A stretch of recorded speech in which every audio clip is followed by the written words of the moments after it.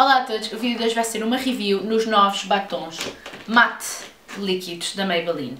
Que são estes, a embalagem é esta, são os Maybelline Vivid Matte Liquid que é um batom líquido matte que é cremoso, não ressaca, não se esfarela e de acabamento suar, cor intensa com pigmentos matte puros. E eu fiquei mega contente quando vi que a Maybelline ia lançar estes batons líquidos matte, mesmo sabendo que eles iam lançar poucas cores, fiquei muito, muito contente porque é uma coisa que é de fácil acesso, qualquer pessoa pode ir ao supermercado e comprar, não tem que ir a uma Sephora ou mandar vir. Há muitas pessoas no interior que não têm Sephoras perto ou não gostam de mandar vir coisas. É, é mais fácil aceder, basta ir a um Pingo Doce ou um Continente e estes estão lá. Já para não falar que o preço é muito bom. Penso que são 7,99 cada um e eu acho que tem à volta de 5 cores. Tem esta escura, não mentira, esta escura, um vermelho, depois tem um pink bem fúcsia e acho que tem dois nudes, eu posso estar enganada, mas tenho ideia que são à volta de 5 cores, 4, 5 cores.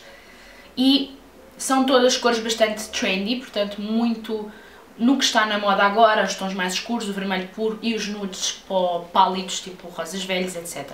E portanto eu fui ao continente e comprei dois, um que está aqui, que eu já experimentei, e outro que está na caixa para vos poder mostrar, por isso vamos começar com o vídeo.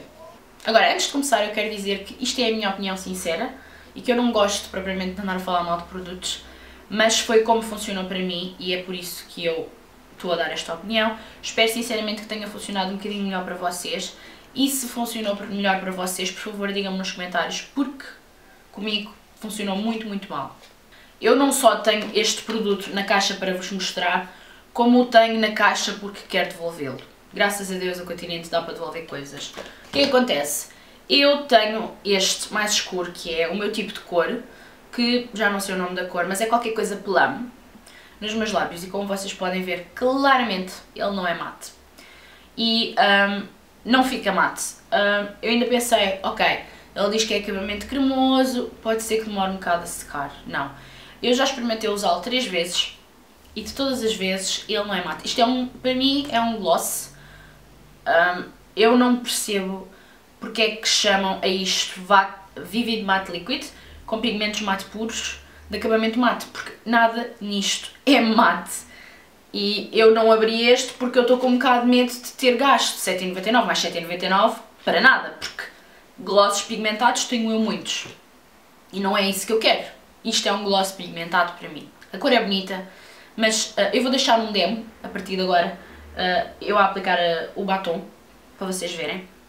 Ele é opaco, já vi batons líquidos muito mais opacos, eu para ele ficar com uma cor intensa tive que aplicar duas camadas, mas já tentei também com uma e mesmo assim não funcionou. O aplicador é fixe, eu gosto bastante da embalagem na verdade, transparente, dá para ver o produto, é fácil de pôr na mala, não é grande, e tem um aplicador fixe que é tipo, é aquele aplicador típico de batom líquido mato ou até de corretor, e é muito fácil de aplicar, de ir aos cantos, mas ele em termos de opacidade, claro que talvez seja por ser uma cor mais escura, eu tive que aplicar duas camadas, no entanto, fica lindíssimo com duas camadas, mas não seca, simplesmente não seca, e dá para ver principalmente agora que eu já tenho isto há uns 15 minutos e eu já, já consegui ter tipo o batom sem comer, sem fazer nada, sem quase falar durante uma hora e meia e ele não seca, simplesmente não seca, fica sempre assim, brilhante. Parece um gloss, parece um gloss. E não é de todo o que diz que faz. Não é um mate liquid lipstick, não seca, não fixa, não fica mate. E para além disto tudo, ele ainda tem aquela sensação, para quem usa plumping, plum, nunca consigo dizer esta palavra a primeira vez, plumping, ainda por cima estou doente, plumping glosses, aqueles glosses que fazem aumentar os lábios, que fazem tipo um efeito de tickling, tipo um, um pequeno formigueirozinho, Sente-se qualquer coisinha, uns piquinhos, uma coisinha minúscula nos lábios, que, que é para dar aquele efeito de lábio voluminoso. Normalmente os glossos ou os batons que têm esse efeito plumping têm esse, essa sensação de tickling para os lábios ficarem mais inchados. Isto para mim é um plumping gloss, mas não é nem um liquid lipstick seca mate, nem de longa duração, nem com pigmentos mate puros. É um gloss com cor que não seca, que transfere, já agora vamos fazer o teste do transfer, minha mão está limpa. Continua. Bem, já para não falar que desvaneceu quase tudo. Continua brilhante, mas desvaneceu quase tudo. Eu não percebo. Eu não percebo, eu não vou abrir este. Este vermelho é lindo, eu não vou abrir este porque eu estou com medo que seja igual e para quê? Para que é que eu vou abrir? Eu posso devolvê-lo. Uh, mas pronto, decidi para um, o propósito deste vídeo mostrar-vos ambos e explicar-vos o porquê que não funcionou comigo. Para mim isto é um gloss, não é nada, não, não, não é que seja um mau produto, para quem gosta de um gloss pigmentado e quem gosta de ficar com aquele aspecto de lábios cheios, é um bom produto. Mas como não é isso que ele diz que faz e não era isso que eu procurava, não gosto. Não gosto.